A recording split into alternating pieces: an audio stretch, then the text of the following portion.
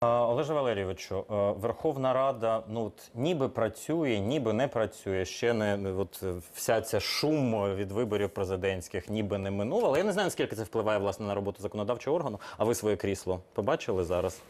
Видно його було в нашій моє трансляції. Моє крісло зараз тут, а у вас у е, студії. Я не женуся за кріслами. Мені найкраще там, де немає крісел, якщо вже говорити за крісла. Е, ми будемо голосувати за закон про мову.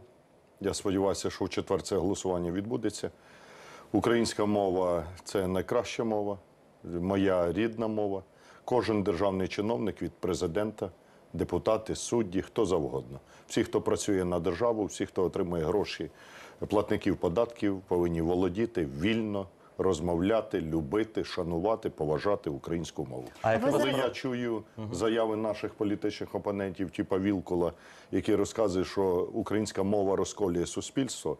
Ну це можуть говорити тільки люди, які ненавидять Україну і все, що пов'язано з Україною. Тому що мені дивно чути, коли мені розказують в Україні, що мова, українська мова розколює Україну. А яка тоді мова має об'єднувати Україну, якщо не російська? Олеже Валерійовичу, який ваш прогноз на голосування загалом? Ваша позиція, ми зрозуміли, ви і фракція, я так розумію, будете голосувати. А як ви гадаєте, яким буде голосування взагалі у Верховній Раді? Я впевнений, що парламент е, прийме цей закон. Якщо український парламент не проголосує за закон про державну українську мову, такий парламент не має права на існування. Е, Я хочу уточнити. Ви говорите, що і будете і ви, і ваша фракція голосувати е, за закон про мову. Але ми зараз бачимо, що крісла, де мають сидіти представники вашої фракції, пусті. Дякую, що ви такі уважні, що ви помітили, що там пусті. Ну і про це власне сказала кореспондентка в нашому да, да, я думаю, що це найважливіша сьогодні проблема для українців, що там немає е, мене. Немає, знаєте чому? Тому що там поправки, наших поправок там немає. І зараз ми займаємося іншими питаннями. В четвер, коли буде голосування, всі будуть в парламенті. Наша фракція, на відміну від усіх інших, сама дисциплінована. Залізна команда, це всі знають в парламенті. Що незалежно ні від чого, команда Ляшка працює. У мене дві може бути причини неявки на е, засідання парламенту: або відрядження, або хвороба, або смерть. Інших причин для того, щоб не працювати в парламенті, немає. Більше того, ми абсолютно переконані, що е,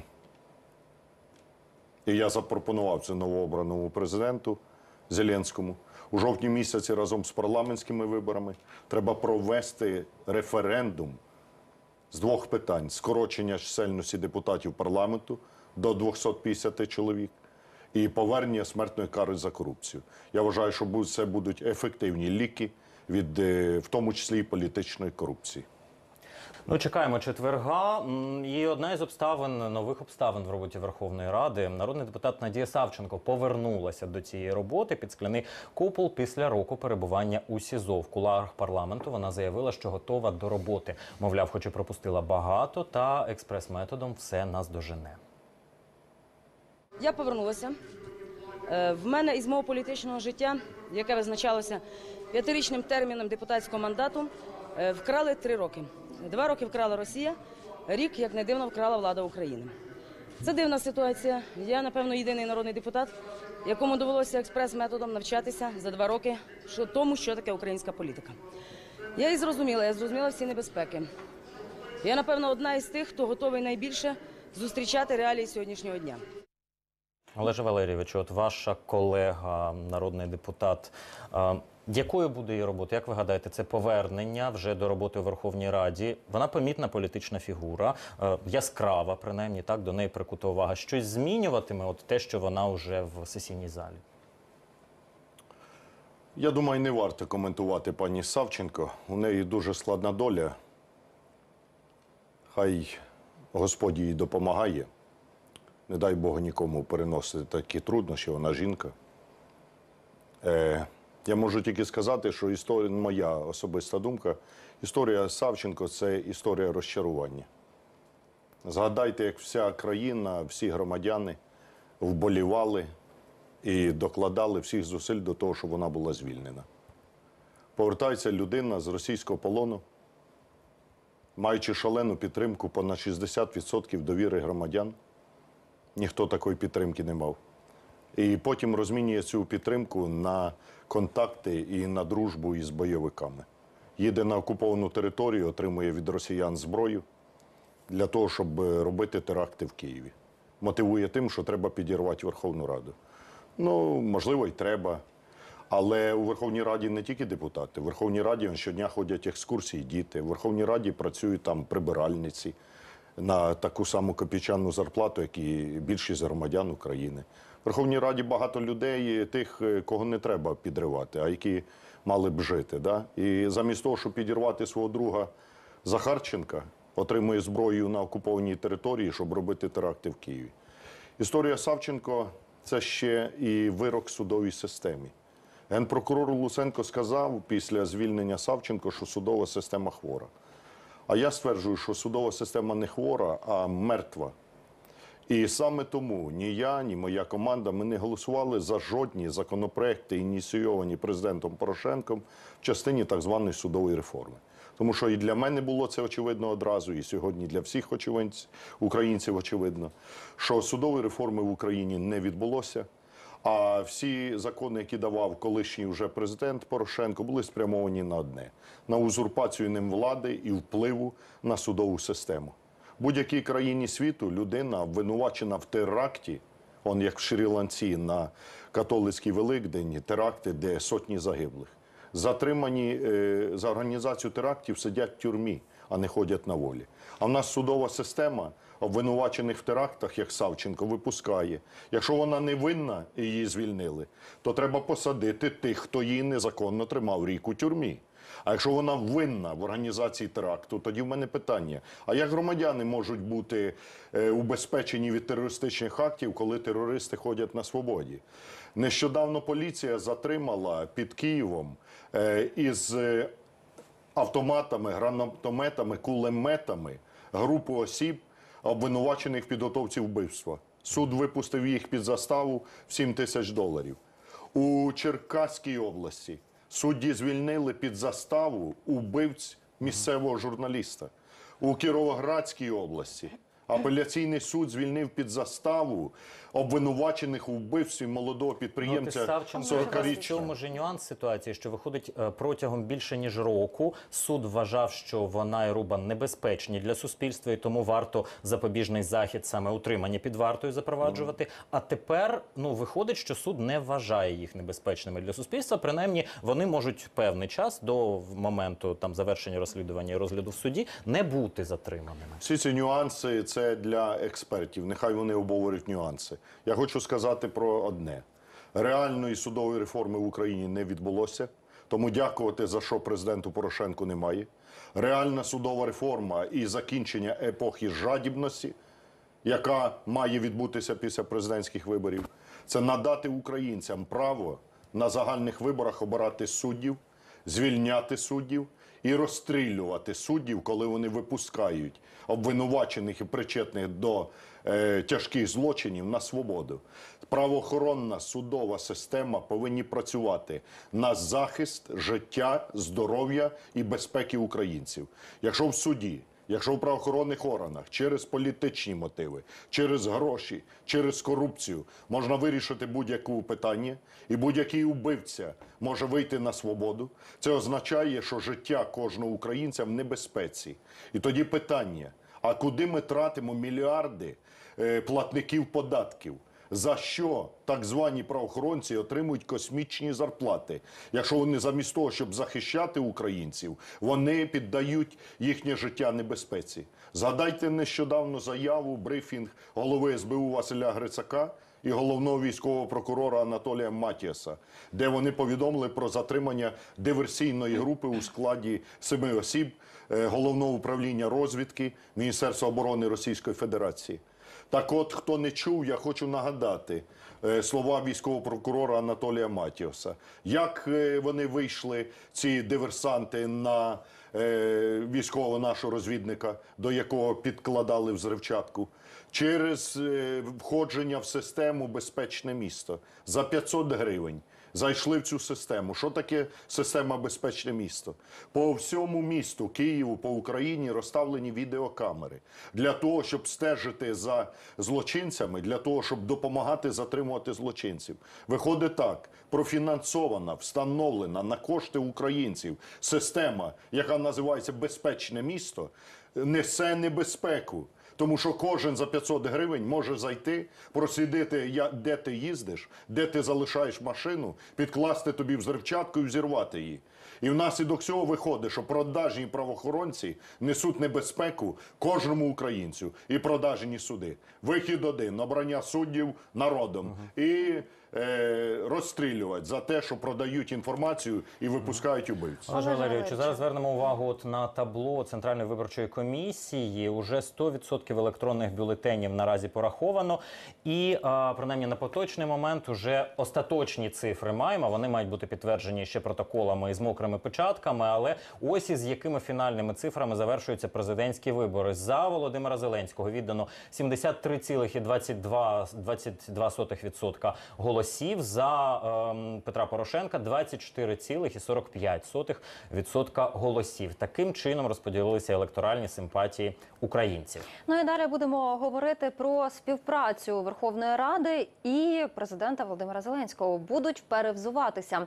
Представник президента у парламенті Ірина Луценко не виключає, що фракцію блоку Петра Порошенка може покинути частина депутатів у зв'язку зі зміною президента. Це нормальна практика для України, вважає народний депутат. Українська політика завжди, ем, як і будь-яка політика будь- будь-якої країни, е, не захищена від того, що будуть зрадники, що будуть люди, в яких е, здали нерви, які не хочуть е, заходити в опозицію, будуть хотіти працювати з командою Зеленського. Це нормальна ситуація зрадників, які є в будь-якій команді, які можуть бути і, і в будь-який час. Давайте почнемо з того, що, наприклад, самопомочі, починаючи з перших місяців, вже відділилася частина команди. А доля зрадників вона завжди буде долею зрадників, і це має залишитися на їхній політичній совісті. А е, висновок мають зробити виборці. Чи має е, каратися зміна політичної приналежності, і як найголовніше на це реагують виборці? Перш за все, я хочу і дякую більше мільйонам громадянам України, які проголосували за мене на президентських виборах. Я ціню цю підтримку, і ми зробимо все, щоб захищати і наших виборців, і всіх громадян України. Друге, результати виборів президентських, які ви щойно оголосили, свідчать про одне. Е, На президентських виборах система жадібності і бідності, вибудована Порошенком і його оточенням, отримала нокаут. Українці сказали досить грабувати, наживатись за рахунок людей. Але я хочу попередити е, новообраного президента Зеленського і всіх українців, що система, яку ми з вами нокаутували у неділю, може отямитися і реанімуватися, реваншувати, якщо її не добити. Тому вибори, які е, сказали цій владі е, ні, це недостатньо для того, щоб не, вони не повернулись назад. Ми пропонуємо план дій новообраному президенту, парламенту для того, щоб добити систему жадібності і бідності. Політична складова. Як покласти край епохи жадібності? І ми підтримуємо, до речі, це лозунги були Зеленського, кінець епохи з жадібності, кінець епохи бідності. Ми обома руками за. І ми чекаємо від новообраного президента одразу після інаугурації рішучих дій на припинення, на знищення епохи жадібності і бідності. Політична складова. Парламент має негайно проголосувати закон про процедуру імпічмента президента України. Глава держави, незалежно від прізвища, має бути підзвітний і підконтрольний суспільству. Закон про тимчасові слідчі комісії Верховної Ради має бути прийнятий, тому що це дієвий парламентський контроль і запобіжник проти узурпації влади. Ми пропонуємо проголосувати зміни до Конституції про зняття недоторканності з президента, депутатів і суддів. Усі громадяни повинні бути рівні перед законом. Ми пропонуємо змінити виборчу систему, тому що це реальні найдієвіші ліки від політичної корупції. Нинішня система і є якраз першопричиною корупції. Скорочення чисельності депутатів парламенту до 250 чоловік. Сам парламент не прийме ці рішення, бо це треба вносити зміни до конституції. Ці рішення мають бути прийняті на всенародному референдумі разом із парламентськими виборами у жовтні 2019 Олеже року. Валерійович, а за це Парламент- взятися ще до інавгурації треба, чи на після? Це ваші пропозиції уже Зеленському, чи це те, над чим Верховна Рада має працювати? Я вважаю, що чим швидше парламент е, це зробить, тим краще. Ну, просто Парубій говорить, що вже трохи чи не в четвер готові братися за закон про імпічмент. Ну то й слава Богу, хай беруться. П'ять років нічого не робили, то хоч зараз хай що-небудь зроблять. В цьому і Крім питання. того, президент Порошенко впродовж своїх п'яти років президентства прийняв понад 80 законів, де привласнив собі неконституційні повноваження, які не передбачені Конституцією. Зокрема, контроль за Нацкомісією з питань е, ринку е, комунальних послуг, контроль за Нацкомісією з питань е, фінансів і е, банків, контроль за Нацкомісією з питань цінних паперів, контроль за Нацкомісією з питань зв'язку. Для чого президенту були контроль за всіма цими національними регуляторами? Для того, щоб розставити своїх смотрящих, грабити людей і набивати власні кишені. Парламент має невідкладно скасувати всі неконституційні повноваження президента для того, щоб е, замість е, колишнього президента не появився новий президент для власного збагачення. І крім того, як я вже казав, реальна судова реформа е, обрання суддів народом.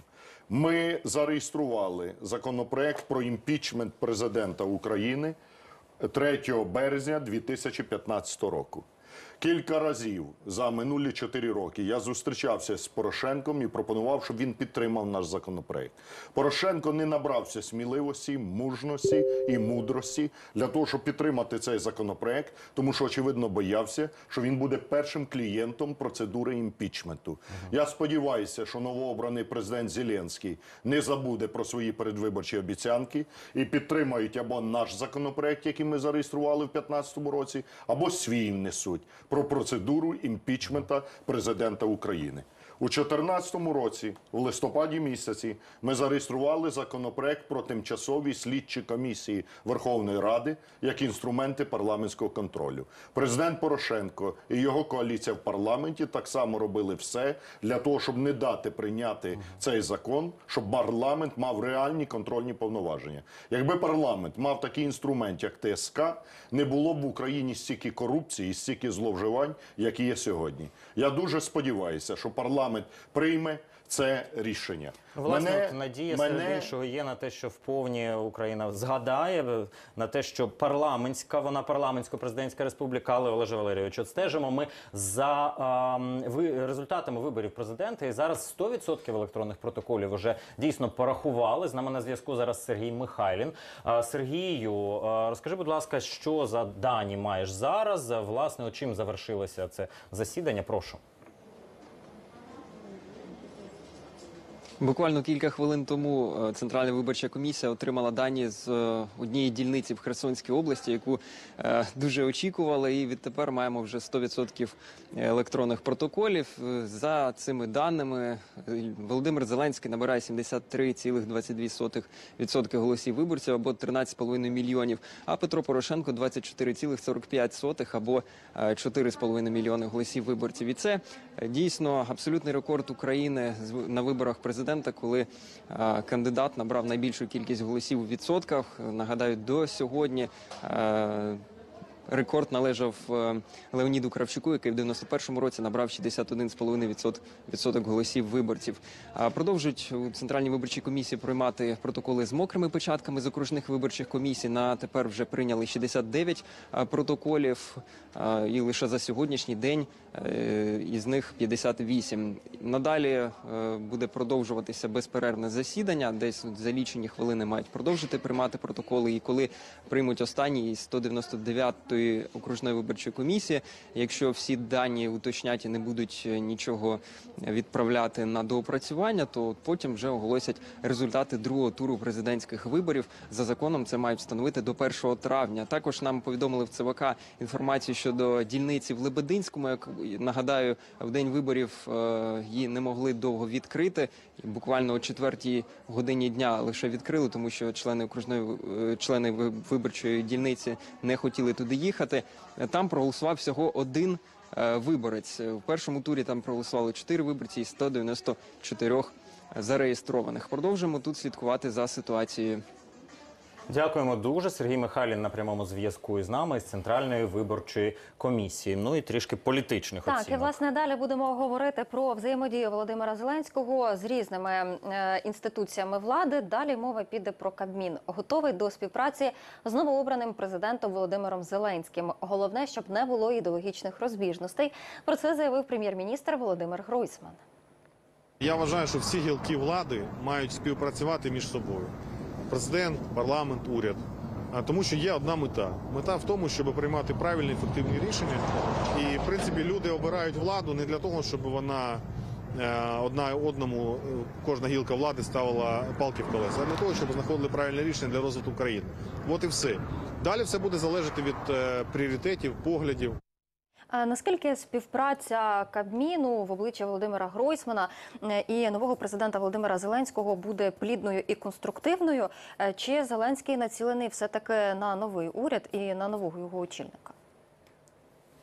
Я думаю, що критерії оцінки, які українці будуть ставити президенту і новій владі, перше мир, відновлення миру, повернення територій, Криму, Донбасу.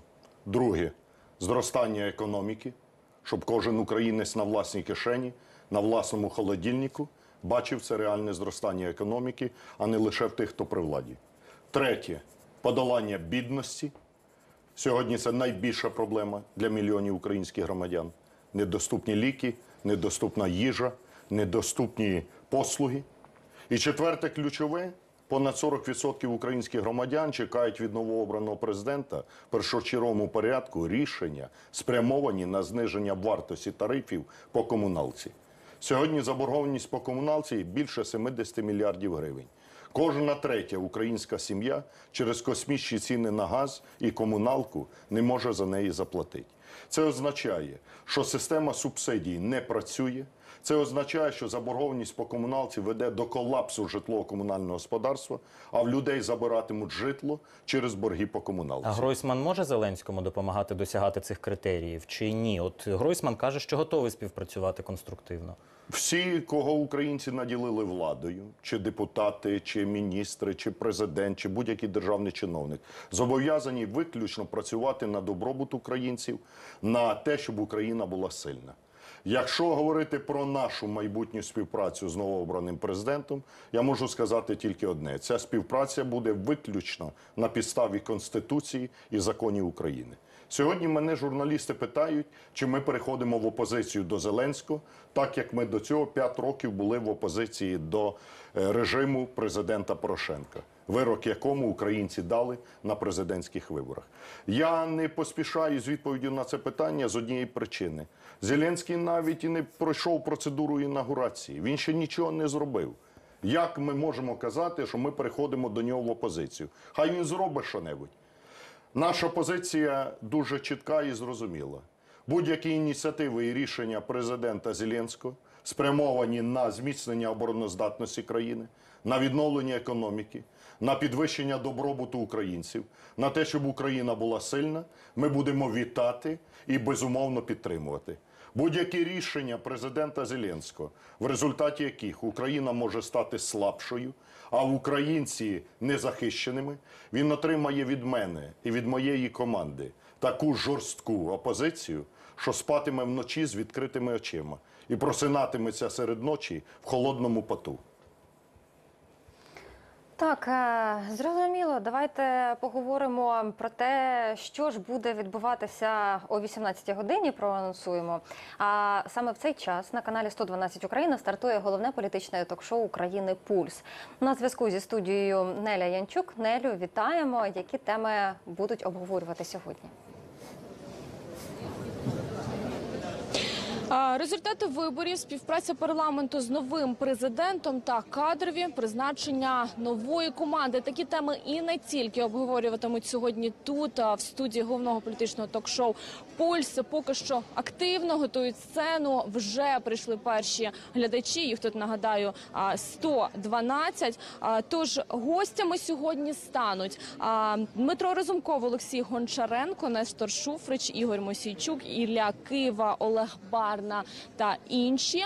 Менше ніж 15 хвилин, як ви сказали, залишається до початку шоу. І глядачі так само зможуть писати свої питання, активно долучатися до дискусії в соціальних мережах, в коментарях під онлайн-трансляцією. Студія вам слово.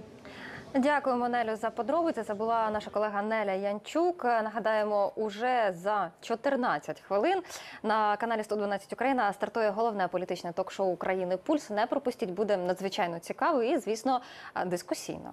Олеже Валерійовичу, от ми говорили про Верховну Раду, е, і зараз, ну знаєте, питання, яке експерти обговорювали ще з наближенням виборів, коли були прогнози, певні соціології, екзитполи. Потім що буде у співпраці президента і Верховної Ради? Чи зможе вона бути конструктивною, чи йдеться до дострокових виборів? І одне і інше можливо в рамках українського законодавства. Ви кажете, що тільки в цих рамках ви готові співпрацювати із президентом як функцією, і з конкретним президентом Зеленським так само. От ви гадаєте, куди ситуація рухається е, зараз? Ви вже як партія чу- готуєтесь до дострокових виборів, чи все ж таки до порядкових? Чому вас дивує моя заява, що ми готові працювати з не новообраним президентом Зеленським на підставі Конституції і законів України? Я не збираюся з ним. здається, це найлогічніше. Я не збираюся з ним хрестити дітей. Ми з ним не товариші. Я сподіваюся, що це в майбутньому. Ми з ним не е, дітей спільно не хрестили, бізнесів спільних у мене з ним немає і не буде. Ні з ним, ні з будь-ким іншим. Тому моя співпраця із президентом і цим, і попереднім президентом Порошенком, до якого ми були в опозиції, і з яким ми безумовно, я як лідер фракції зустрічався і не один раз, як і всі інші лідери фракції, базується виключно на конституції. Зеленський буде дотримуватися конституції, пропонуватиме ініціативи для того, щоб Україна була сильніша. Ось моя рука. Якщо Зеленський буде пропонувати ініціативи, в результаті яких Україна стане слабша, ось моя рука. І все. Олег Оце моя позиція. Щодо дострокових виборів парламенту. Верховна е, Конституція передбачає три підстави для дострокового припинення повноважень Верховної Ради. Якщо будуть підстави, передбачені Конституцією для розпуску парламенту, безумовно він має йти на перевибори. Якщо перевибори парламенту ініціюються тільки для того, щоб захопити більшість у парламенті і отримати монопольний вплив на все, на парламент, на уряд, президентську посаду, то я скажу словами класика: будь-яка монополія веде до загнивання. Давайте згадаємо недавну монополію партії регіонів. Давайте згадаємо монополію президента Порошенка. Я взагалі вважаю, що президент, як гарант конституції, повинен бути поза політичним процесом. Він не повинен очолювати партії і він не повинен брати участі у парламентських чи будь-яких інших виборах.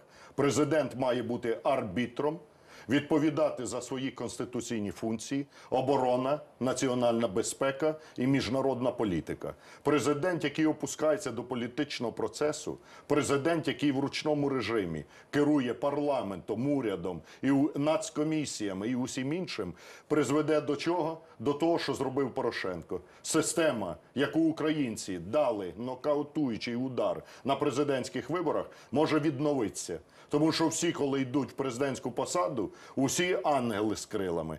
А через відсутність відповідальності, через відсутність механізмів контролю громадян за владою, через три місяці ці ангели з крилами перетворюються на чортів з рогами. Тому ми й пропонуємо план дій. Конституційні зміни, закони про імпічмент, про ТСК, зміна виборчої системи, виборність суддів, скорочення чисельності депутатів. Увесь цей план дасть одне, щоб більше ніколи не відродити систему, яка грабує українців.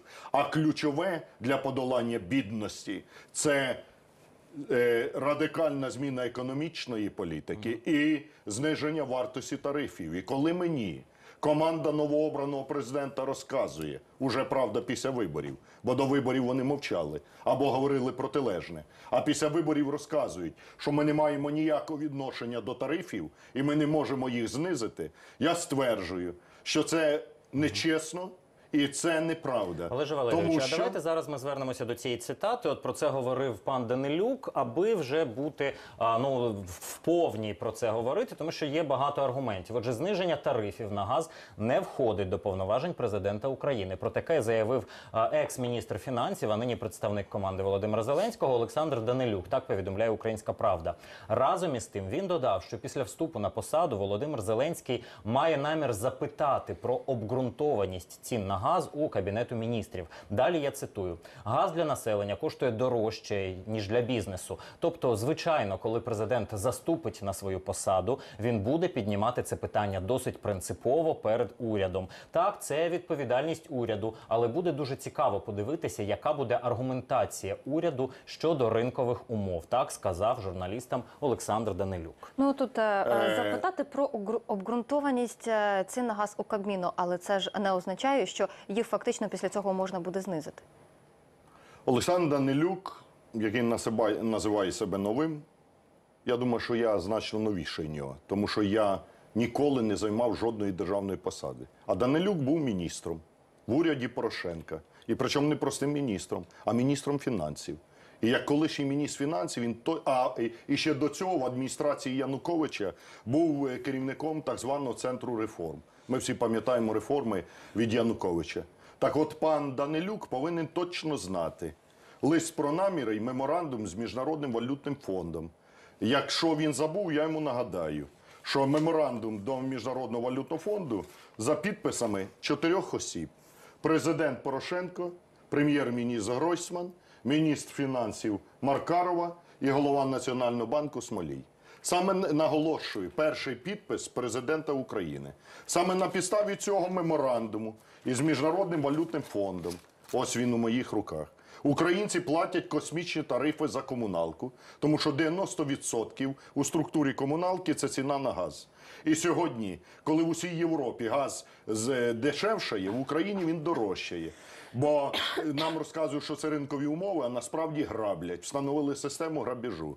Так от, новообраний президент повинен, якщо він проти грабіжницьких тарифів на комуналку, повинен ініціювати перегляд меморандуму, який підписав його попередник, е, президент Порошенко. Крім того, відповідно до Конституції України, президент України має право скасовувати рішення уряду з одночасним їхнім оскарженням до Конституційного суду. Ціни на газ були встановлені рішенням уряду від 28 травня 2017 року.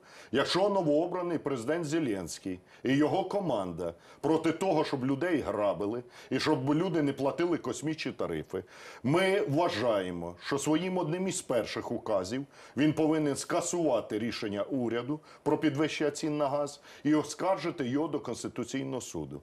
Відмовлятися від відповідальності, казати, що це не ми у той час, коли українці чекають від президента рішучих дій, це демонстрація слабкості. Президент повинен брати на себе відповідальність. Президент, як гарант конституційних прав громадян, повинен захистити громадян, коли їх змушують платити непідйомні тарифи, внаслідок чого у них діти сидять голодні, бо нема чим заплатити за тарифи. Тому я ще раз скажу: українці минулої неділі проголосували за те, щоб їх припинили дурити і грабити. Ну, свої рекомендації, підказки новій команді от Олег Ляшко вже надав. Зрозуміло, якими механізмами можна скористатися в даному разі, в тому числі і президентові. Саме це б я зробив би одразу після президентських виборів, коли переміг би на цих виборах.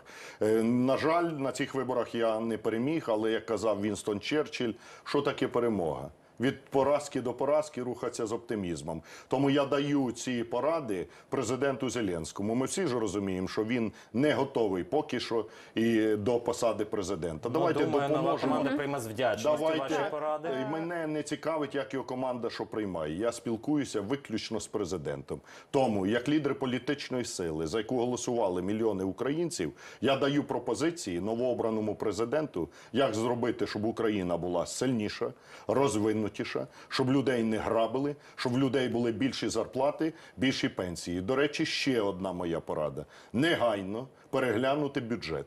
Бюджет приймався в грудні минулого року. У цьому бюджеті закладені мільярдні корупційні схеми президента колишнього і його оточення. Олеже Ось ресурс для підвищення зарплат і підвищення пенсії. Ліквідація цих корупційних схем, тим більше напередодні чергової річниці Чорнобильської катастрофи кажуть, немає грошей на соціальний захист чорнобильців. Заберіть корупційні потоки в оточення президента, і будуть гроші на все. Е, Надзвичайно цікаво, як вестиме подальшу політику президент Володимир Зеленський, але не менш цікаво, як діятиме і Петро Порошенко. Маємо таку інформацію. За 10 хвилин розпочнеться засідання фракції блоку Петра Порошенка. Деталі дізнаємося у нашої колеги Яни Танчак. Яно, вітаємо. Що відомо про засідання? Вітаю вас, колеги. Відомо те, що на це засідання має приїхати е, президент України Петро Порошенко. Е, Поки що немає його. Це нам повідомили охоронці будівлі. Тож ми очікуємо на приїзд народних депутатів, на приїзд Петра Порошенка. І е, те, що нам відомо на цю хвилину, це те, що мають обговорювати на засіданні подальші плани, подальшу стратегію. Тож будемо слідкувати, е, спілкуватися з народними депутатами. Ну і звісно, все це в прямому ефірі телеканалу 112 Україна. Колеги. Дякуємо, Яно Танчак. Будемо е, чекати від тебе наступної інформації. От е, е, насправді е, доволі цікаво, як е, вирішить і Петро Порошенко, і власне е, як складатиметься е, далі е, доля е, фракції в парламенті. І вже маємо таку інформацію, що е, звільняються голови обласної державної адміністрації. На даний момент уже чотири планують подати у відставку. М, Заявив недавно голова Тернопільської обласної державної адміністрації Степан Барна, що піде відставку одразу після інавгурації новообраного президента. Заявили е, голови Миколаївської, Львівської і Закарпатської ОДА. Чи не виникає е, тут запитання, що е, так би мовити, президент Порошенко говорить про підтримку Зеленського, а в результаті звільняються голови ОДА. Реформа децентралізації може припинитися, призупинитися і не отримує Зеленський у цієї підтримки. Реформа децентралізації не залежить від голів обласних адміністрацій. Е, Голови адміністрації, які подають заяви про звільнення після поразки президента, який їх, їх призначив, це абсолютно нормальний процес, тому що це були політичні призначення. Я хочу на інше звернути увагу. Люди, це знаєте, де найкраща країна і найкраща ситуація? Там, де громадяни не знають, хто в них голова адміністрації. Це означає, що в тих громадян нема проблем. А коли люди знають і прокурора, і суддю, і голову адміністрації, це означає, що в людей дуже багато проблем, бо вони вимушені весь час стикатися з владою. Я хотів би сказати про значно важливішу річ. Ви питаєте, що має робити Порошенко? Піти на політичне кладбище. От що має робити Порошенко разом з його усією гоп-компанією. Подивіться результати виборів. Вся країна.